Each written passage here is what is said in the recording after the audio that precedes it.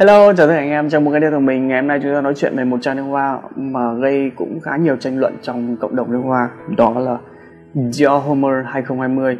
Thì chúng ta đều biết là thời gian vừa rồi Dior ra mắt hai phiên bản, đó là Dior Homer 2020 và Dior Homer Original.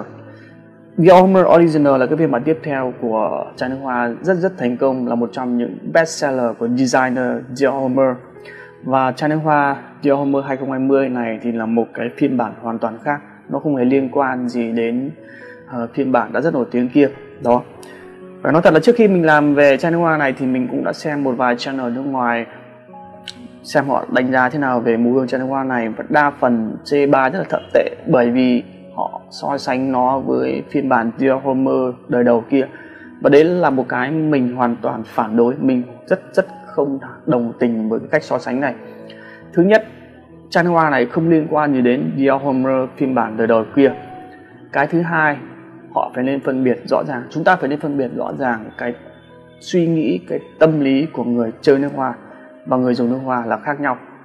Đôi khi nếu như bạn là một người chơi nước hoa, ví dụ như ở đây chẳng hạn, mình cũng có ví dụ Dior Homer Intense bản ngoài phiên bản 2015 này của mình thì mình còn có phiên bản 2012 cũng rất là sâu rồi. Đó đây phiên bản 2015 của mình và 2020 à, 2012 có nghĩa là cũng có sưu tập những cái phiên bản đời đầu. Nhưng chúng ta phải nên phân biệt rạch ròi giữa cái việc người chơi nước hoa và người dùng nước hoa. Ờ, người chơi nước hoa thì họ luôn luôn tôn vinh những cái phiên bản đời đầu bởi vì mùi hương bao giờ nó cũng chất lượng hơn. Thế nhưng, chúng ta thích mùi hương này thì không có nghĩa là 10 năm sau chúng ta sẽ bắt nó phải luôn luôn là như thế. Mọi cái đều phải có cái sự vận động, phải có cái sự đổi mới để phù hợp với cái xu thế, phù hợp với có thể là một số lượng khách hàng mới, đó.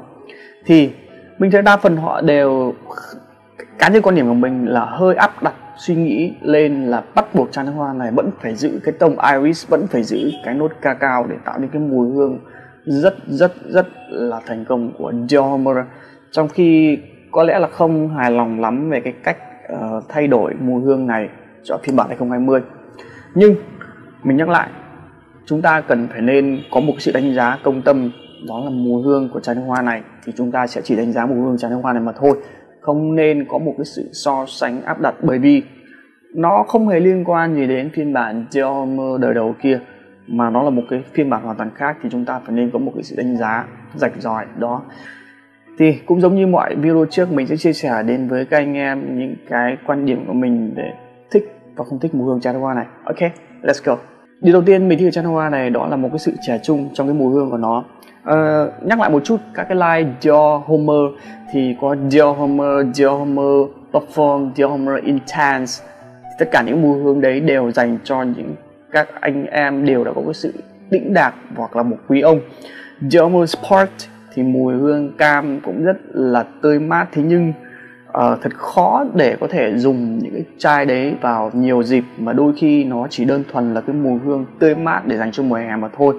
Còn Dior Offerman thì chắc chắn rồi. Uh, không phù hợp lắm với các anh em tuổi trẻ. Nó vẫn phải là tầm từ khoảng uh, 27 28 đó. Còn Dior Sport um, không quá là xuất sắc không quá tệ nhưng không phải là quá là xuất sắc. Và mùi hương của nó thì khá là nồng nếu mà dùng ở Việt Nam thì cũng không phải là có nhiều sự lựa chọn đa dạng hơn. Còn Dior 2020 này thì với cái cảm nhận của mình đây là cái mùi hương nó trẻ trung hơn so với cái dàn line Dior cũ kia. Với cái sự kết hợp uh, với khi mà mình xịt lên da của mình cái cảm nhận của mình đầu tiên đó là vetiver cho nên mình nó làm mình hơi hướng nhớ đến một chút xíu những cái chai nước hoa uh, thuộc dạng fresh spicy hoặc là những cái chai ví dụ như là Terra Imes hoặc là Daniel Icon nó chỉ một chút xíu thôi cái vị uh, cay nhẹ một chút đó. Và sau khoảng 15 20 phút thì một cái vị hơi ngậy ngậy ngọt nhẹ ngọt ngậy đó. Nó hiện lên và nó mix cùng với cái spicy fresh spicy này và cái mùi hương này nó hơi thoang thoảng bám trên da. Có thể là về đa phần thì mọi người sẽ nghĩ là chai nước hoa với cái mùi hương này nó bám không phải là lâu thế nhưng thực tế mà nói thì mình thấy nó bám rất là bền bỉ, cứ nhẹ nhàng bám trên da. Và mình thấy mùi hương này khá là trẻ trung, rất rất thích hợp. Các anh em nào mà tầm khoảng từ 21 22 đều có thể sử dụng chai nước hoa này, rất là ok. Do đó, điểm mình thích ở chai nước hoa đầu tiên đó là cái sự trẻ trung của nó. Nó giống như kiểu một cậu bé mơ lớn trong cái dàn live Gelmer nếu như chúng ta có cái sự so sánh với các cái phiên bản đã ra mắt, thì đây là một cái chú bé mới lớn mùi hương nó nhẹ nhàng hơn, nó tươi trẻ hơn so với các cái phiên bản đời đời cũ kia. Ok, điểm đây là điểm đầu tiên mình thích ở chai nước hoa này.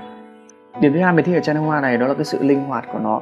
Đây là một cái mùi hương có thể sử dụng để đi học, có thể sử dụng đi làm, có thể sử dụng đi chơi, đi cà phê, đi hẹn hò.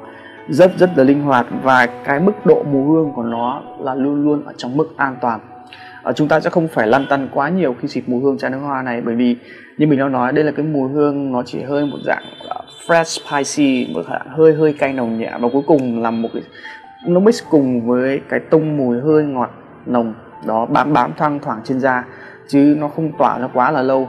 Và đây là một cái điểm cộng rất là ok. Nếu như các anh em nào uh, chúng ta không cần quá nhiều cái mùi hương mà chúng ta cần một cái mùi hương và xịt luôn luôn ở mức độ an toàn không sợ mọi người uh, chê bai không sợ mọi người khó chịu khi mọi người chỉ do Homer 2020 này. Chính xác là cái mùi hương các anh em cũng nên tham khảo. Đó tổng kết lại hai điểm mình thích ở chai hoa này đó mùi hương của nó giống như mình cảm nhận của mình đây là một cái chàng trai mới lớn.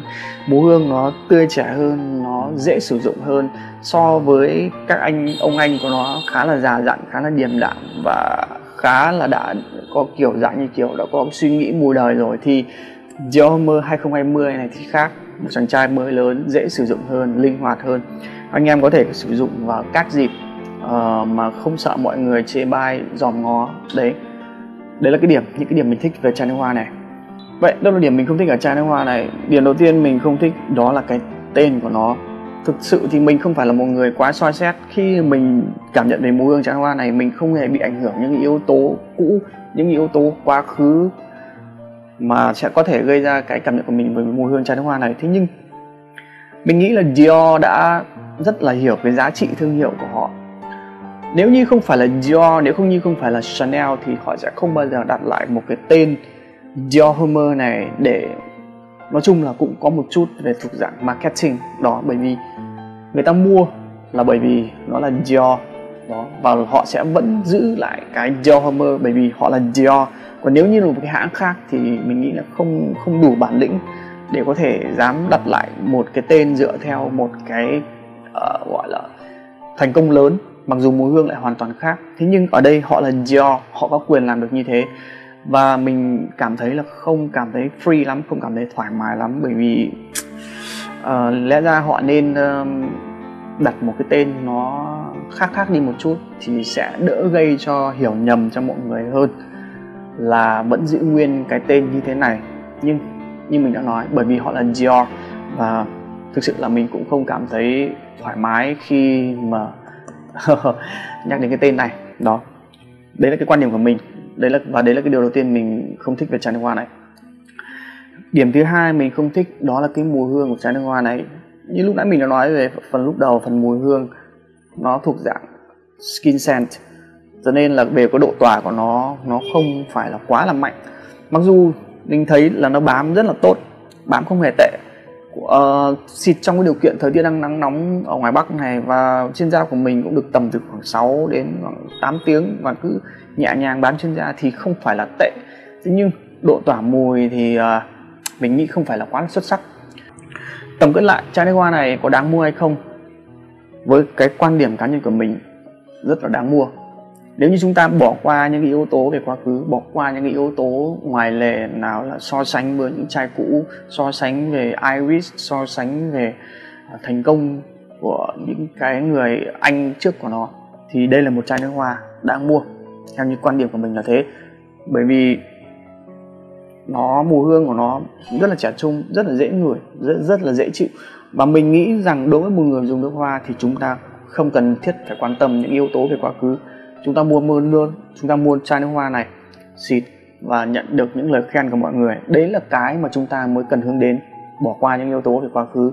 Đó, đấy là những cái cảm nhận của mình về Dior Homer 2020 thì vừa xong mình vừa chia sẻ đến các anh em quan điểm của mình về chai nước hoa của nhà Dior. Thế thì mọi anh em cảm thấy thích video này hãy like và share nếu như mọi người cảm thấy video có giá trị đừng quên subscribe kênh của mình nhé. Bây giờ xin chào và hẹn gặp lại.